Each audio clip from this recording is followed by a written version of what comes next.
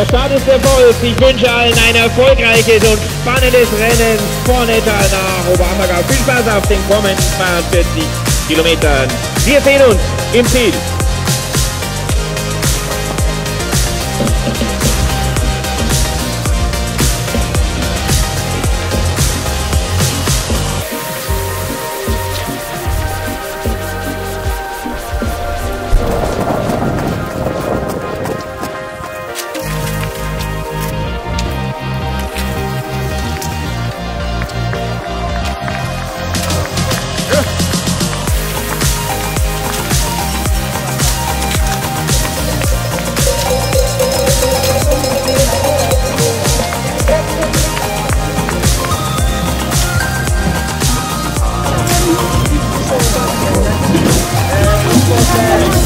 người tiếp